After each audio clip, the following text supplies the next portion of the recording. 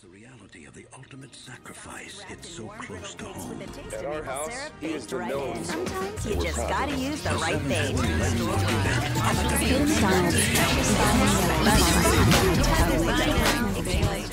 Hey, everybody, welcome to that voiceover podcast, the uh, show that is for and about voiceover. This is Mike Greco, and my guest today is uh, kind of kind of what you'd call a blue collar working man's actor. He does everything from voiceover to commercials to uh, television and film, uh, and he is uh, currently the uh, the lead character in the new video game Mafia Two. He is Rick Pasqualone. Rick, welcome to the show. What's up, Mike? How you doing? I'm good. I'm good. So you know what? Let's um let's start talking about the video game first. Uh, Mafia Two. Were you in Mafia One as well? Uh, there was a Mafia One. It was done about eight years ago. Uh, I had uh, nothing to do with it, uh, which is why this game is uh, infinitely better. obviously, it's obviously a hundred times better right off the bat. Uh, so you, you you start off obviously you must have auditioned for this just at the agency. Uh, yeah, we, we uh, they they had done an early round. This and this is going back well over two years ago. Oh wow. They had, they had done yeah they had done an early round of casting, and I went in um, and uh, read for Jack Scalici, who was directing the game and was doing a lot of the dialogue, and I did like he just put me in a room with a bunch of the uh, with a bunch of pages, and I just went through about twenty or thirty different you know characters, and uh, we kind of selected one, which was you know kind of very close to my own voice, and he said, "I think that's going to be good for Vito, who was the lead in the game." And I went, "Great." Uh, I really hadn't done a lot of video games up to that point. Didn't really know what it entailed, and then uh, we kind of went off from there. So how many how many overall sessions do you think you did in recording the whole video game? Uh, you know, I think uh, I'd, I'd, I'd have to look, but it, it was probably in the neighborhood of 40 or 50, which is a lot for a video game.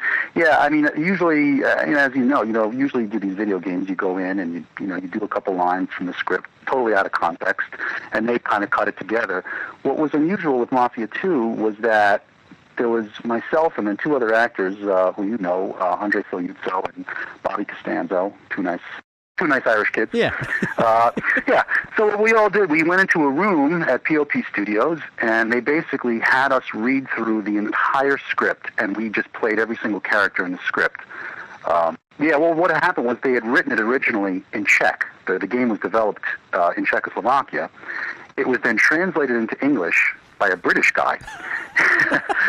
so it then fell to us, the Italian American, the Italian American actors that they could find to make it sound authentic and, and you know and give it that give it that uh, Scorsese touch that uh, that people have come to expect. And over the course of two years, yeah, we we we we probably did 40 or 50 sessions to get to get it to the point where it became conversational and cinematic and, and dramatic. And I think I think that because of that process, it, it did turn out well. It's been getting a lot of good notices for the for the for the you know the real the truth of the game, you know, the real the cutscenes and the the gameplay is very realistic, and people have been responding. Were you speaking some Italian too, or is it just all you know the, the quasi Italian that the, that the the you know the Goombas use? Yeah, well, there was a lot of that. There certainly was a lot of that. Again, to give it that realistic touch, we, we he allowed us to improvise a lot in the early sessions, which you know we were able to throw in our own personal uh, personal touches. But then at, at some point, I actually had to speak Sicilian in the game, which I had never spoke before, and they actually got a, a guy that, that came in, and I just duplicated his uh, his accent and, and his pronunciations, and uh, it was like I, I might as well have been learning Swahili because it was to me it was a completely different language than Italian. Because well, yeah, you speak you speak proper Italian because you're well, I I say speak, proper, I but you speak, speak yeah, Italian. like regular. Exactly. This was this was a completely new language, but uh, but I, and honestly, I haven't I haven't actually played the game yet. I don't know how much of that actually made it into the game, but from the cutscenes that I've seen, uh, they they threw in they threw, they kept quite a bit of what we of what we were coming up with. Was it already animated, or or were they reanimating things to your new dialogue? I, what they again because because the process took so long and because they were animating and doing motion capture in the Czech Republic, we would record a bunch of scenes. They would send that dialogue over to Brno in Czech Republic, and they'd get these Czech actors to approximate what we were doing. Then they sent it back to us, uh, and we would we would modify it, and, and, and they would work on the facial animation as we were going. They would videotape us in the booth, but so that they could get our you know our mouth movements and and to try to approximate um, because they their command of English was limited, so. Uh, they were trying to get it as close as possible to what we were doing. So, and now you you've worked on other video games, and obviously the process is is completely different. I mean, from ones I've done, you just kind of go in, like you said, you read it and you walk out, and that's it. So Pretty much, yeah. You get you know you get a four hour session. You go in, maybe do an hour or two of you know grunts and groans and you know hey he went that away okay thanks rick. Thanks for showing up. Uh, don't let the door hit you on the way out. Yeah. What, uh, was there any uh, talk of a, a sequel, or actually, I guess you probably would give away the ending if, if you told me that you died, so you probably can't do that. no they uh they they were talking about a sequel. Uh, i guess a lot of it depends on how well the game ends up doing. You know if if uh if 2K wants to you know fund another game because i know they're they're incredibly expensive to produce you know, at this level with the uh, with the motion capture and all that stuff, it, it gets very expensive. But uh, you know, I think it all depends on, on how the audience responds. Uh, the reviews have been pretty good, uh, especially for the voice acting, which is nice. Um, I think uh, I think uh, if you know if it ends up doing well, there definitely will be a Mafia three, and I think uh, and I think Vito would still be uh, you know have a have a chance to be a part of it, whether in um, I won't give it away. maybe they're flashbacks, maybe they're not It was all a flashbacks. Maybe he's a little older. Who knows? You know, maybe he's who knows. maybe he's Pacino now. He's running the Flamingo. right. Yeah. Vito in Vegas, Yeah. part three. Yeah. So I know, uh, besides uh, you know voiceover, which uh, you know you, you also have done some voices for Family Guy, and you were in uh, Ice Age, I think, one of the Ice Age movies. Uh, you do commercial work as well um, for voiceover, but you're also doing uh, well, I guess just every kind of acting. You do on camera, you do commercials, I, I do whatever they let me do. and it, and it's actually something that you know topically I just I just blogged about not too not too long ago is is uh, you know that top five percent of us that knock on wood are lucky enough to be to be working. Uh, you kind of you kind of have to diversify. You can't really just do one thing or uh, anymore. I agree with you, and I think I think your blog was, was right on the money. Um, you know, early on, I think we all have maybe an ideal that we want to be a certain type of actor. We want to emulate, you know, um, you know, someone like Al Pacino or something, you know, who made whose first film was, you know, a monster success, and whose second and third, you know, and just became a movie star. And you go, yeah, I'd like to do that.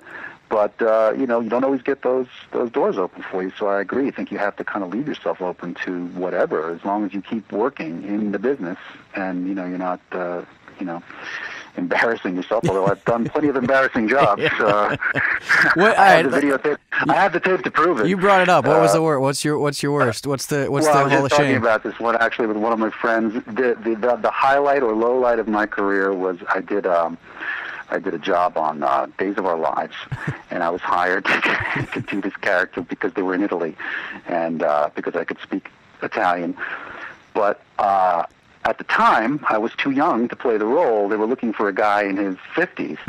Uh, I got on set. They hired me sight unseen. They hired me. I showed up, and they had to. They put a mustache and they grayed my hair. I looked like Super Mario Brothers had just stumbled onto the set of Days of Our Lives. It, it will go down in history as one of the funniest things I've ever seen. So did you yes, did you get? yes, I still have the tape. Oh, of course you do. That one that one's you put that on Letterman when you make it on there. Yeah, that's in the archives. Yeah. Uh, did you did you start in New York? 'Cause I know you're from New York. Did you start in New York, or did you come out here and, and just go for it? Yeah, I started in New York. I think you and I came up uh, a lot in the same way. We did. Uh, I did theater. I was doing Tony and Tina's wedding in New York. Oh, that's that right. That's right. I would have had I been in New York, I would have played your younger brother because I was Johnny. and you were Exactly Tony. right. We Yeah. would have been uh, we would have been family.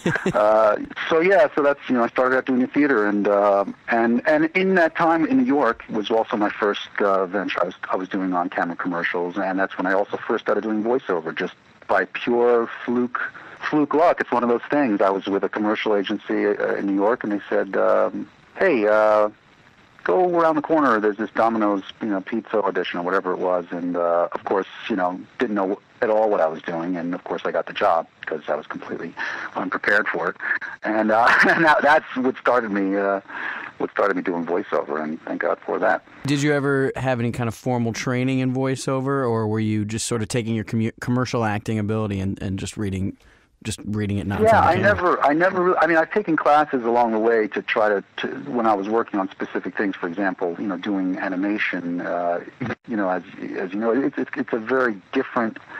Um, it's a very different aspect of voiceover. You know, there's, there's different things that you need to do, and you know, work on, and just to create, you know, create those you know work on those different muscles that you that you have. So I've taken classes for that, and then you know, and, and along the way, uh, but mostly I, I relied on just my regular my my acting training to try to just bring just bring myself to to doing voiceover, and and the trend to me seems to be that that every piece of copy I pick up says we don't want announcers, we want real actors, and you know, and it seems that seems to be the the trend now. It's everything real, real, real, and bring your own self to it, and I kind of feel that's the way to go with everything. You know, you bring a little bit of yourself to it, and you know, no one, no one's going to be the same as you. So that and that obviously helped in you know for Mafia 2, but also for the, some of the cartoon work you've done is is you've been able to actually use your actual acting training as opposed to just you know, hey, I'm a voice and I can read copy. Absolutely, and you know it, it gives an advantage because there are those guys out there with those you know beautiful you know beautiful voices that can just go and read the phone book and you go that was fantastic. I love this guy. I'll buy anything he's selling.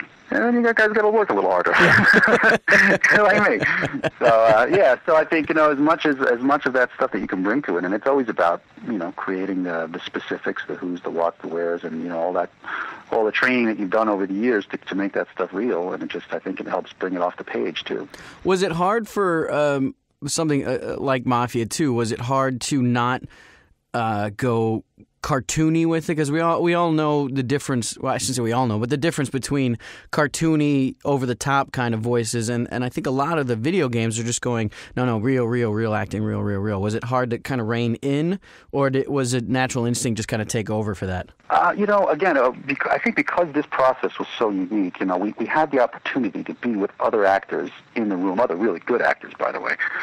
Uh, and the director was in tune with us enough to let us be. You know, in other words, we, you know, you, you, do five, six, seven takes of a, of a scene, and, and he would give you, you know, try it this way, try it that way, but he would always let us do one completely on our own, and and I think we always went for understated, underplayed, keep it real, you know, what would I really say if I was in a car with these two guys and we're on our way to, you know, bury a body? You know, I don't know. You have to kind of create those situations, but basically you put two guys in a car and they're going to start breaking each other's chops, you know, and that's and you know and that's and that's what we started to do, and that's the stuff that really brings you know brings the game alive when you you know you're you're going to rob a bank and you're talking about you know who farted in the car. I think that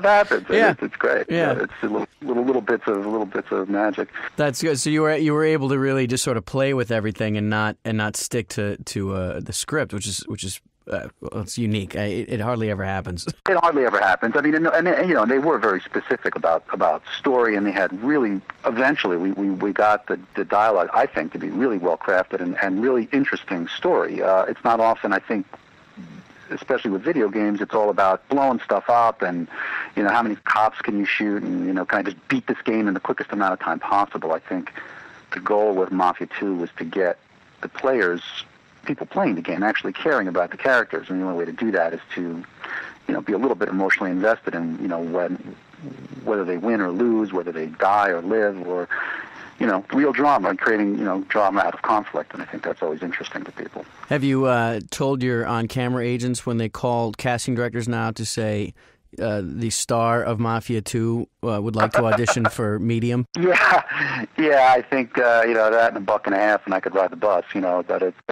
you know, but uh, yeah, I don't know. It'll be interesting to see if that if that has anything to do with it. Uh, it's it's it's one of those odd things that we have we we have uh, largely anonymous careers in the voiceover industry, and it's uh, it's not always it doesn't always translate, but uh, maybe this will. Who knows? Rick, thank you very much for uh, coming on the show and, and talking to us about everything, and uh, w- wish you best of luck in the future. We'll talk to you soon. Thanks, buddy. Take it easy, man. Bye. That Voiceover Podcast is a co-production of Half Full and Get Creative Inc. For more information, go to thatvoiceoverpodcast.com or check us out on iTunes. Thanks for listening. I'm Mike Greco.